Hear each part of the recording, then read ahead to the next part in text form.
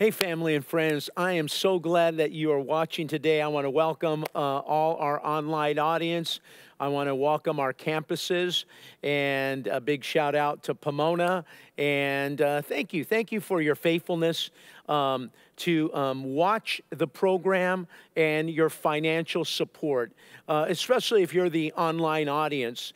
Um, because if you're being fed every week and um, you know this is ministering life to you, then I want to just thank you for supporting uh, us uh, through your gifts of generosity. That means a lot. I'm going to pray and we're going to get into this message. Thank you. Father, I thank you so much for who you are. You make all the difference in the world. Father, on one side, it seems as though it's the worst of times. On the other side, in our spirits of faith and expectation, it would seem like it's the best of times and there's a merger in the spirit realm uh, in time that's about ready to happen, oh God. And it's a, an amazing clash that is about ready to take place, oh God, where uh, the darkness of this world will see the true manifestation of the power and the light of God. And I just thank you that we want to be in the middle of that. We don't want it to pass us by, we don't want to miss out. So speak to us today in Jesus' name. Amen men. I'm going to read you a scripture. It's found in Mark, the second chapter. And Pastor Adam has done an amazing job over the last couple weeks ministering on new wine and, and what newness represents and uh, how the old things in our lives have to pass away. And last week he talked about a new friend. And here's the passage I want to look at the Mark translation. It says, Jesus replied, Do wedding guests fast while celebrating with the bridegroom? Of course not. They can't fast while the groom is with them. This is speaking of Jesus. He was giving this analogy. He was with them. He says, and the groom was with them, but someday the groom will be taken away. That was speaking of Christ after his death, he would be taken away from them, and then they would fast. But then it goes on and says, besides, who would patch old clothing with new cloth? For that new patch will shrink and rip away from the old cloth, leaving even a bigger tear than before. Then it goes on, and this is really what Pastor Adam has been preaching on. And when I saw, heard the amazing message, I said, I'm going to preach kind of the A part. He talked about the new wine and the old wineskins. I'm going to talk about uh, the new cloth versus the old cloth. And so it says, no new wine puts into, uh, excuse me, no one puts new wine into an old wineskin, for the wine will burst the wineskin, and the wine and the skins will both be lost. New wine, new wine calls for new wineskins. If you want a new life, you want new changes, then you're going to have to make a difference in your environments and your surroundings. That's what we want to talk about today as we enter into today's message. I, I just love the word new. Uh, all through the Word of God, as we looked at uh, over the last couple weeks, the Bible speaks about a new heaven, a new earth, that we are new creations in Christ Jesus. It talks about a new song, it talks about new beginnings. There's so many words that go along with new. The Bible loves new. You know what? Uh, more than 28 years ago, 29 years ago, a word of newness was spoken to launch and birth this ministry. It's found in Isaiah 43 and in verse number 18 and 19. It says this Remember ye not the former things, neither consider the things of old. Behold, I will do a new thing, saith the Lord, and I'll make a way in your wilderness and rivers in your deserts. I was at in January of 1994 at a big O tire place, about ready to put tires on uh, my pastor's car. And uh, I had a little book with the scriptures in it, and I, this scripture jumped off the page I had been in that ministry now 15 years, nine years full time as a pastor. And this scripture spoke to me about God was about ready to do something new in my life. Somewhere where I was comfortable, somewhere I thought I, I, I wasn't gonna have, uh, wasn't gonna change, thought it was gonna be a lifetime being there. uh, he said, Remember ye not the former things, and I was going to do a new thing. So I, I love this word new because it spoke into the existence of this church, and it wouldn't be here if it wasn't for that. I want you to think about the word new in a different way because new is a disruptor. And new, the word, when God does something new, new is an irritator. If you look at the examples of the cloth and you look at the example of the wine, it's a disruptor, it's an irritant, it's friction against that which is old in our lives, that which is stuck in our lives, that which is stale in our lives, that which is stagnant in our lives, and that which is stiff in our lives. Any area of our life that's hard and dry and unproductive, God wants to bring newness into our lives, and that's a disruptor. And people don't want to be disrupted. And that's going to be an irritant. And people don't want to be, be irritated. And it's going to cause friction. See, I was about ready to leave a church. I was about ready to leave an income. I was about ready to leave a, a, a position to go do something brand new. That was a disruptor in my life. That was an irritant in my life. That was a friction into my life to my comfortability. And so many people need something new in their life. Or I'm going to use another word. They need something fresh. It's, it's like a soda, it's lost its fizzle. There's no more fizzle in it anymore. And that really describes a lot of people here today that are listening to me today, whether you're on online or you're in our campus, come on, shout me down, emoji, say amen. But here's the reality God's ready to do something new in your life, and He wants there to be freshness into your life for that which is stale in your life, a bad odor in your life. When was the last time you had a fresh revelation, a fresh visitation?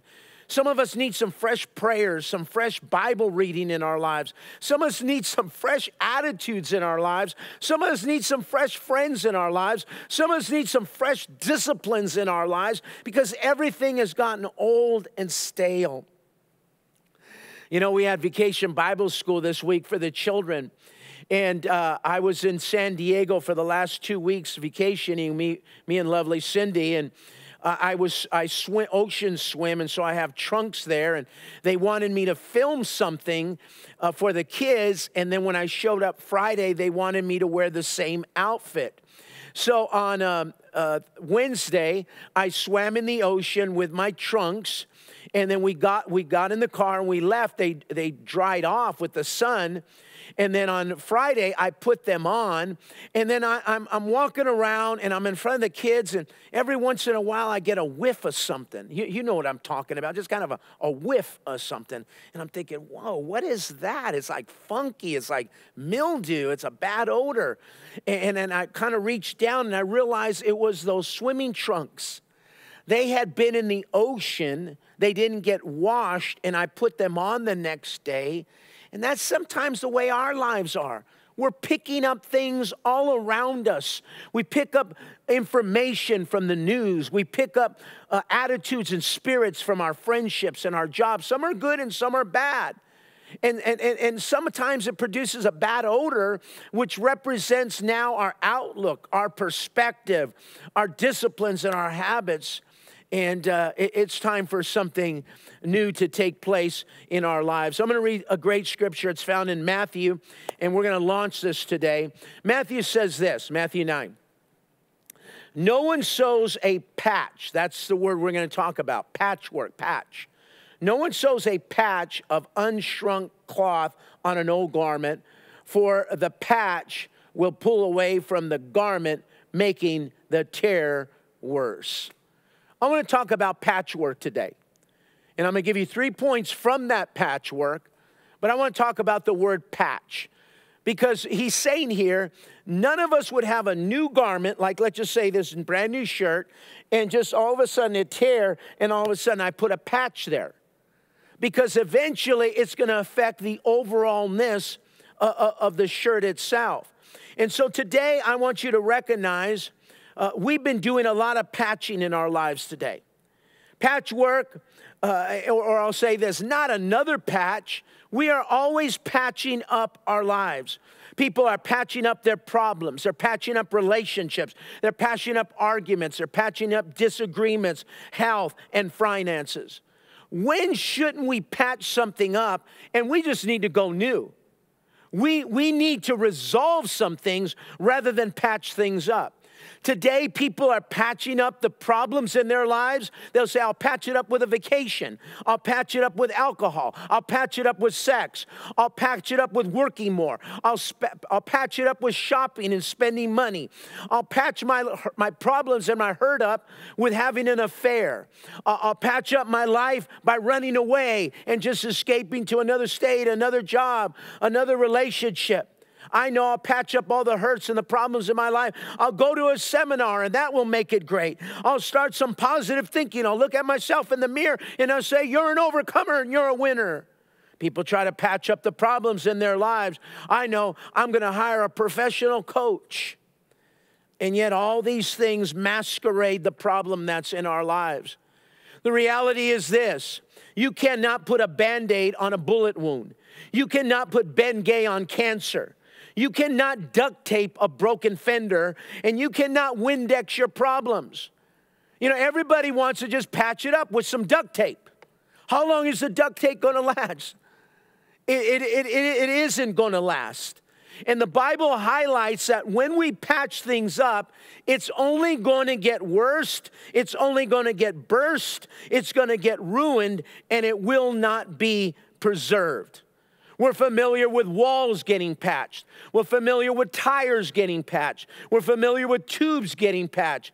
I mean, Lord Jesus, drive down your street, the highways, this, uh, you know, the freeways, and they're always doing patchwork on it. But it doesn't seem to resolve it it just seems to have a temporary solution. And that's what I'm trying to tell you. If you and I are always trying to patch things up in our lives rather than going new and fixing it and resolving it and changing in our lives, your patchwork, it doesn't last. When I was a little boy, it's a different world my generation would identify. You usually didn't have 15 pair of jeans and 15 different type of pants. For us, it was just a special occasion to buy a pair of blue jeans, 501 jeans, okay? But you go out and you wear them and, and you play in them. And uh, uh, for me, back in the day, my blue jets, what you called them, you would wear out the knees. You'd wear out the knees so that now all of a sudden you had holy pants and not, not sanctified godly. They just be rips in them. Today, they spend thousands of dollars on jeans or hundreds to rip them. But back in our day, we only had one. And so mama would get an, an iron on patch or she'd sew and she'd put a patch on your knees. Now, today, that's really cool, but back in the day, uh, you, didn't have an option, but it really, it, it, you were not, you were not proud of your patches. Here's what I could tell you about when we patch our knees up in our, our pants the patch never matched the pants. Come on, I'm preaching now. Somebody ought to say amen uh, uh, it was of different material. It, it, it felt different. It looked different. It didn't resolve the situation. And there comes a point in our lives where I've got to stop patching up what's going on and I need to resolve it and I need some newness in my life. With that in mind, here's what I'm going to tell you about patchwork. Here's the three words I want to give you patches are incapable or incompatible Patches are inferior and patches, patches are incomplete. When you're going to try to patch up your life, then here's what you need to understand it's incompatible. The patch is incompatible with the piece of garment, it's inferior to the piece of garment, and it's incomplete to the wholeness of the garment. Here's the scripture I want to read you. It's found in 2 Timothy now. Incompatible. That's what I want to talk about. Today, what in your life is incompatible. What in your life today is non compatible? It's a patch. It's non compatible to the vision I have, to the dreams I have, to the goals I have, to the aspirations I have. I have these things in my life that are not compatible, and that's why I don't get the results I want. That's why I don't succeed. Well, here's what the Bible says uh, in Second in Second Corinthians, please. Second Corinthians. It says this Do not be yoked together with unbelievers. For what does righteousness and wickedness have in common? Or what does fellowship, what fellowship can light have with darkness? What harmony is there between Christ and Belial? That means the devil. Or what does a believer have in common with an unbeliever? And what agreement is there between the temple of God and idols? For you are the temple of the living God. As God has said, I will live in them, I will walk among them, and I will be their God, and they will be my people. He's talking about incompatibility in this text. And basically, the first thought is this we need to pay attention to what we're bound to. The picture here is two animals bound by a wooden harness that will, uh, that will harvest the field or plow the field. So, so the, the Bible tells us we need to pay attention to that which we are yoked to, which means bound to, tied to, joined to, and hooked to. Why?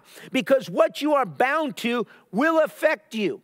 It will influence you and it will persuade you. And so we've got to be able to watch that because what we're bound to affects our mannerisms, affects our personality, affects our interests, affects our values, affects our thinking, affects our lordship.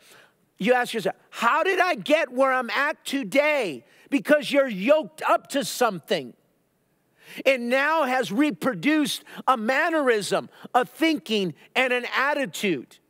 Here's what I realize what you are bound to eventually rubs off on you. It's going to rub off on you. In other words, here's what I'm saying. If today your yeses are yeses, then watch what you're yoked up to because your yes eventually could turn to a no. If you say no to something, I, I say no to this sin. I say no to uh, disobedience. I say no to lying. Then watch what you're yoked to because it can affect you and it can influence you. And the next thing you know, it's producing an opposite result in your life. You, you, you know what I'm talking about. Something that you would never do, you are now doing. Why? Because I'm yoked to movies I'm yoked to associations, I'm yoked to environments, and I'm yoked to thinking. How did I get to this? Because I'm not paying attention to what I'm yoked to, and I'm being incompatible with these things, with the God direction, the value, the things that God wants with my life. I've yoked up with things that are absolutely incompatible to the will of God in my life and to the direction of God in my life. In this scripture, you will see words like partnership, live, harmony, and union. And it will say this in this text we just read What compatibility does righteousness have with wickedness? What compatibility does light have with darkness? What compatibility does Jesus have with the devil? What compatibility does a believer have with an unbeliever? He gives us five things here. And what compatibility does God's temple have to do with idols? They're not compatible, they're opposites. They compete against each other. You cannot mix and match. So, again, I want to describe a thought to you today. How many of you, I, I don't know, have, have, have ever gotten, let's just say, lice in your life? You, you've gotten lice. Where does lice come from? It comes from someone else. How did it happen? I rubbed up on them. I don't know if you ever had, when I was a little kid, I had what they call scabies. It's this little bug. And uh, man, it just itches. And if you look real, you, you see it. It's like he's almost clear white, and, and you see him. How did that happen? Well, I, I, I slept over my cousin's house, and uh, we, you know, he didn't have he didn't have a, a, a, a two beds, so we slept. We were just little guys. We slept together in the bed, innocent. But I so that's where the scabies came from, because I rubbed rubbed off on it like that. STD. Where does that rub off? So, so I, I want you to I want to describe to you a, a greater thought today. Uh, and here's the thought Pay attention to the information source in your life. Pay attention to the relationships. Pay attention to your locations that you go. Pay attention to the opinion uh, that you are hearing from someone else. Pay attention to your social media intake. Pay attention to agendas that people have. Pay attention to lectures. Pay attention to literature. Pay attention to movies, award show, music. Pay attention to theme parks. Even pay attention to the mouse. They all have agendas and they will persuade you. And you've got to make a point in your life, and I'm not telling you what to do. What is not compatible to my faith? when it's not compatible. I was watching a, one of these, you know, entertainment shows, and a, a, guy was celebrating having his umpteen kid with his, with his umpteen wife, and they're just cheering for it. That's the way of the world. That's not compatible to my faith. And so, am I just gonna laugh it off? Am I gonna spend two hours of my life absorbing this thing? Oh, Diego, you're just you're you're just going too far. Really, I am. It's not gonna ever rub off on me. And my yes is gonna become a no, and my no is gonna become a yes. And, and what I resist now, I begin to tolerate and accept in my life. That's what's going on in this world. And that's why the Bible tells us, do not be conformed Absolutely do not be conformed to this world. God told Abraham that Ur of the Chaldeans was not compatible. He had to leave Ur. God told Abraham that he was to separate from Lot because Lot was not compatible to him. And when a time came, time came for Abraham to find a wife for Isaac, he was told, You are not to go find a wife from the Canaanite women, but go back to our home people. And that has nothing to do with racism, it had to do with the faith. The faith. We don't want you to marry outside of the faith because it will affect the values, it will change your lifestyles and your mannerisms. And that's how huge that was. As kryptonite is to Superman, you have to ask yourself, what is my kryptonite that is not compatible to my faith? And for believers, it is sin, it's disobedience, it's worldliness, and the works of darkness. Here's the second word I want to share with you. It's found in Deuteronomy, and I love this scripture. It's found in Deuteronomy, and it reads this in 22 Do not plant your vineyard with two types of seed. There's that incompatibility again. But today, now we're going to talk about inferior. Inferior. Do not plant two types of seeds righteous seeds and ungodly seeds. Bible, theology, and other beliefs. They're, they're, not, they're not compatible, they're inferior. He says, otherwise, otherwise, the entire harvest, both the crop and what you plant and the produce of the vineyard, will be defiled will be defiled. Today we have we believe as Christians that we could believe something and behave a different way. I just want to be holy right now, so I'm gonna go get me some church, and then I could I just live like a junkyard dog, alley cat, garbage rat. It, it doesn't affect nothing, really. That's what this scripture is saying. You can't plant two types of seeds because it's going to affect your harvest. And then I love this one. Watch this. Do not plow with an ox and a donkey Yeehaw! together. Get the ass out of your life because it's affecting. See, here's what you need right. The ox and the donkey are not the same, and we think they are. And they're not. They have different weights, they have different sizes, they have different production in their life. They get they get different results. And you got to ask yourself, we're back to what you're yoked to. Am I uh, I'm the ox, but what's next to me? And maybe I'm not able to get the harvest and the results I want because I'm uh, uh I'm yoked with an ass in my life. Get all the ass out of me. Get all Oh, wow. Didn't mean to say that. But you know what I'm talking about. You and I have got to recognize I've got to get all that's incompatible out of my life, and then I got to get everything that's inferior out of my life because inferiorness will not allow anything in my life to last, endure, and sustain. So, what in, in your life today is inferior, not measuring up, or able to come against the opposition? The donkey is inferior to the ox. As much as you cannot mix silk with polyester, you cannot mix velvet with synthetic, and you can't mix satin with nylon. You cannot, I love this analogy, you cannot put a Ferrari engine in a Volkswagen Beetle. It, they're inferior to one another. A cubic zirconium and a diamond are inferior. Veneer and oak are inferior. I'm trying to go somewhere with this. What in my life is inferior? What in my life is incapable? And I can't allow that to be in. Uh, my mouth does not match up with my actions. My lifestyle doesn't match up with my behavior.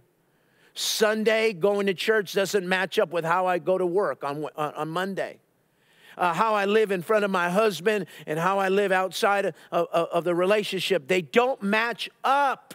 I'm two different type of people. I'm a Dr. Jekyll and I'm Mr. Hyde and it could be blatant or it could just be innocent. I say hallelujah, praise the Lord, but then I worry and then I'm fretful and then I'm fearful. I say I'm going to trust God, and the next thing I know, I'm full of gossiping and lying and cheating. It doesn't match up. You would never wear like a checkered shirt with striped pants. Come on now, would you do that? And that's what he's saying when he talks about old wine, new wine, old skin, new wine. That's what he's talking about. A new cloth with an old skin. They just don't match up. It is absolutely inferior. You and I have to get all the inferior things out of us. We got to get inferior food out of us, inferior drink out of us, inferior language, inferior thoughts, inferior atmospheres, inferior environments, inferior habits and practices if we want great outcomes and superior results and performances in our lives. I have a friend of mine, he's in the automotive business. I went and saw his shop recently, and he said, I'm remodeling uh, refurbishing this 1954 uh, truck.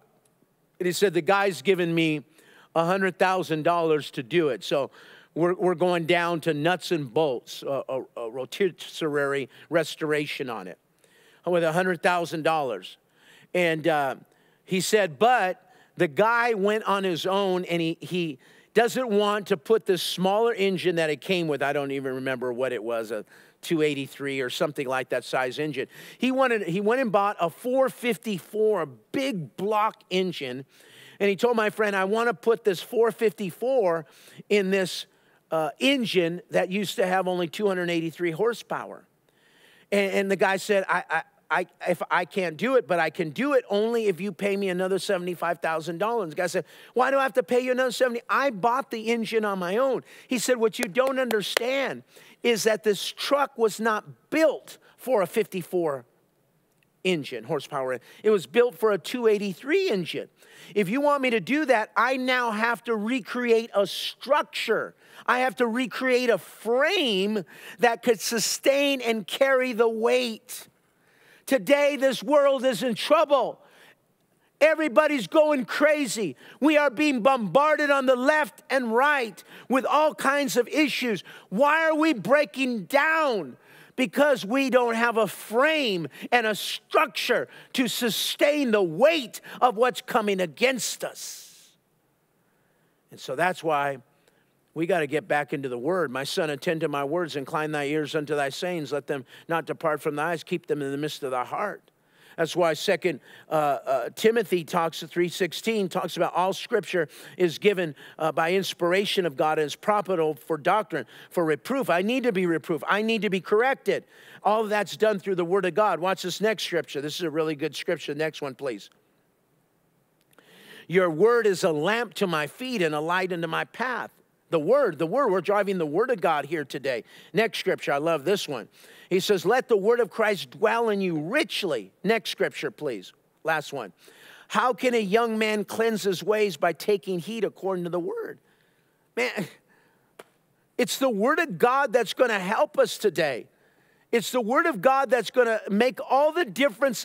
It's not something we hold loosely. It, it, and I, thank God I just bought this brand new Bible. So it's the first time I'm preaching. Man, you, you got to get this into this. And then in, in here, it's got to be released in how I raise my kids. How do I talk to my kid? How do I talk to my wife? How, what do I put before my eyes? What do goes into my ears? How do I live? But if this is just held lightly or I rip out pages because I don't like it, then you and I are going to recognize – we're trying to believe God for something great and it's never going to happen because we're putting on an old patch, which is your old habits, your old way of thinking, your old traditions, wanting some new results to take place in your life. And here's the last point, and you've been graced. So we talked about patchwork is absolutely incompatible. Patchwork is absolutely inferior. And here's the third word patchwork brings incompleteness into your life. Here's a scripture in 2 Timothy 4 in verse number 7. Paul says this I have fought the good fight. I have finished the race. I've kept the faith. Keep it there, there. Let me ask you today are you fighting a good fight? Number two, what, are, what, what race are you supposed to finish? Right now, the, the World Championship track and field is going on in Eugene, Oregon. They know what they they know what race they're supposed to be in. They know what lane they're supposed to be. Nobody is taking them by the hand and say, "We want you to be here at 250, and, and, and, and we want you to warm. We're going to help you to warm." Man, they're in a race, and this is a spiritual race, and you're supposed to finish your race. Finish. Finish being a Christian. He goes on, he says, I have kept the faith.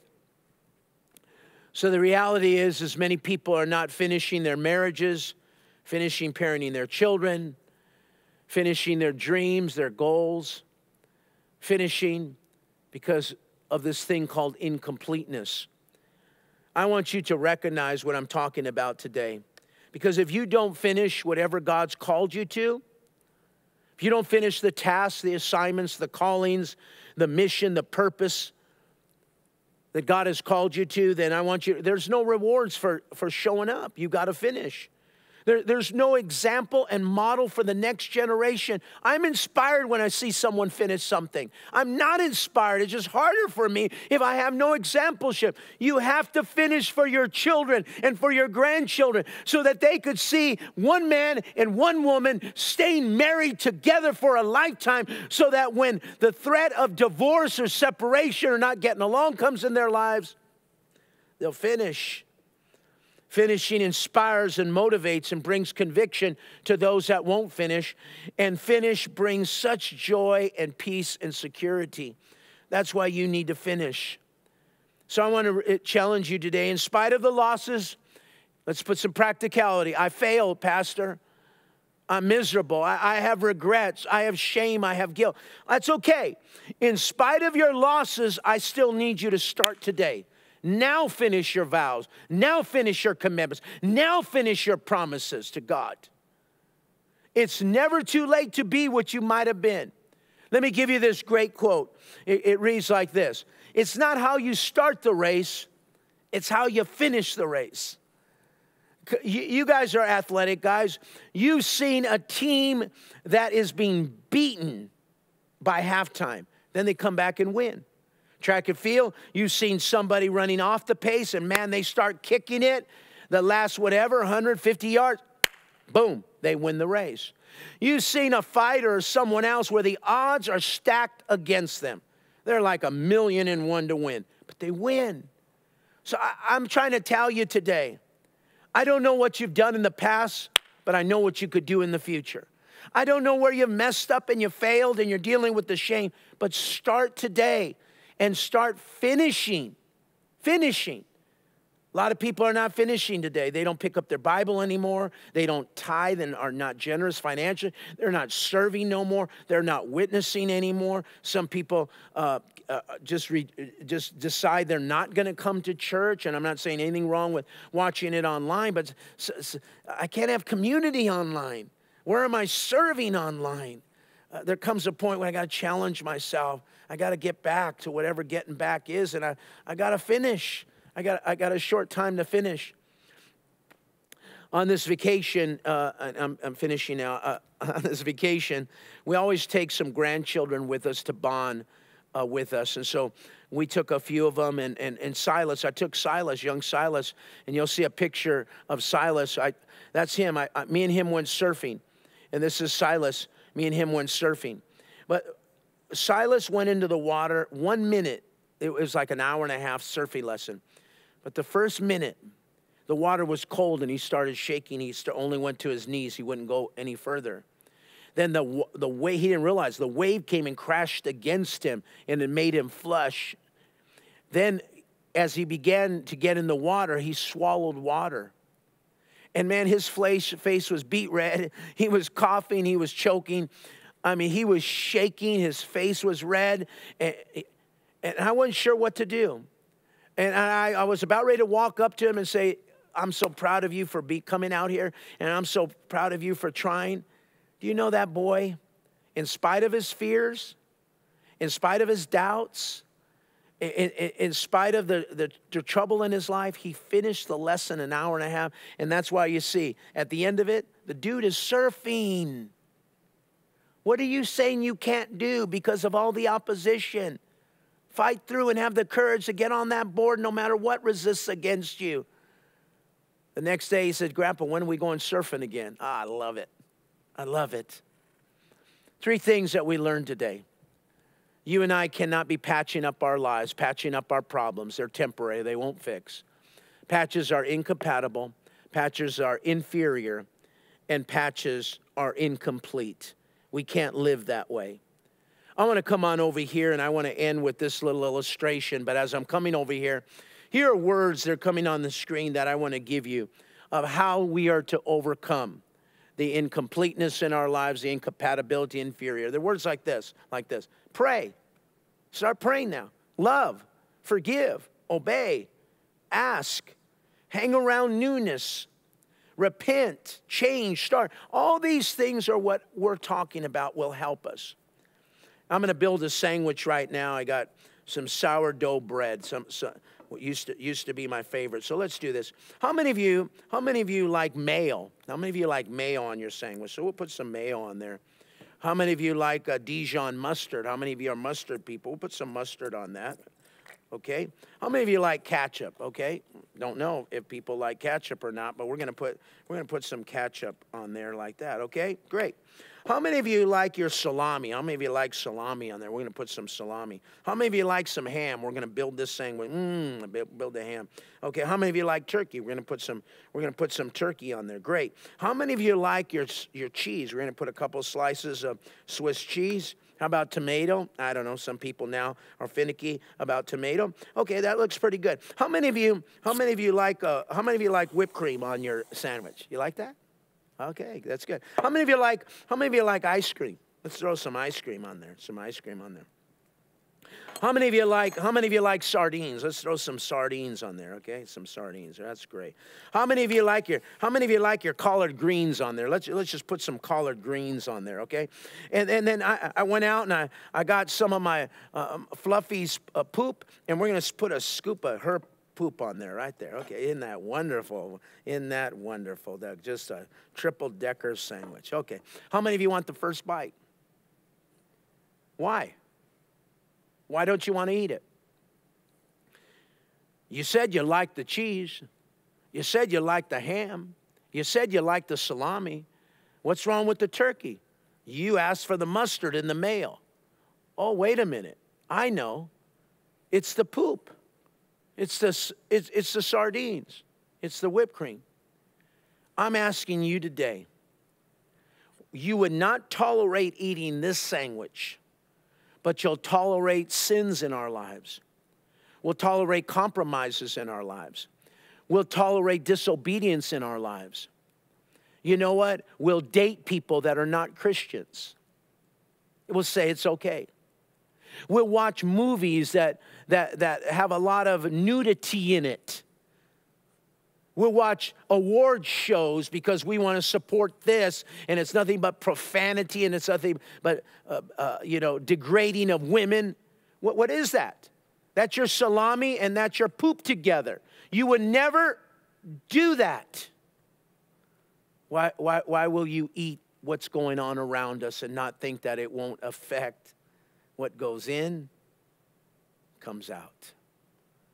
Today, let's make sure that we our belief matches our behavior. Our belief matches our behavior. They're not contradictory to each other. Let's not just be a Christian by title, by checking the box. Let's not just be a Christian because we have a beautiful 24 karat cross around it. Let's just not be a Christian because I, I got a tattoo. Let me not just be Christian because I got a fish bumper sticker. Let me be a Christian, Christ like in all areas of my life. Father, I thank you for this message, and I, I just pray, Lord, that we begin to take inventory of what's incompatible in our lives to our faith, what's inferior to our faith, and what brings an incompleteness to our faith. And we ask you to forgive us, and may we have the courage to change. In Jesus' name, amen.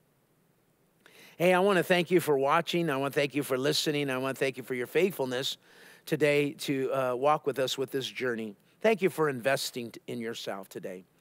But nowhere in the Bible does it say if you don't cuss and you drink and, you know, if you're highly spiritual and you do this or you do that, you'll go to heaven. Those are called works.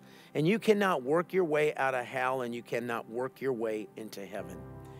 The work of the cross was the final work. That's why Jesus, when he hung on the cross, he said, It is finished. That's why when Jesus died, the veil of the temple was ripped in half from the top to bottom, signifying that, that, that, that God would not use man in, in, in, in, in, any way to influence who God was in relationship to Jesus, in relationship to salvation or coming into the presence of God. It would only be done through Jesus Christ. Jesus said, I'm the way, the truth, and the life. No man goes to the Father but by me. The Bible says there's no salvation in any other person but Jesus Christ. Today, He's the only one that loved you enough to die for you. He was the only one that could abolish and forgive you of your sins. He's the only one that could change your destiny from eternal damnation in hell to everlasting life. And He's the only one that loves you unconditionally. He'll let you choose whether you accept Him or not. He'll let you choose the lifestyle you choose to live or not. He loves you enough to give you a free will. But today, I want you to recognize one day, in all our glory, in all our splendor, in all our fans, in all our followers, it's going to end. At that point, what is going to matter the most is where you're going and have you made your peace with God. Don't wait for that to happen because sometimes it's not afforded to us a time or a second chance to do that. You give your life to Jesus Christ right now or you rededicate your life to the Lord. It'll be the best decision you've ever made. Say this Dear Lord Jesus, I'm a sinner. I ask you to come and live in my heart. Forgive me of my sins. I thank you today that I'm born again. I'm a child of God. I want to live for you now in Jesus' name. You're forgiven, and I want to just thank you so much for watching, and we'll see you next week. God bless you.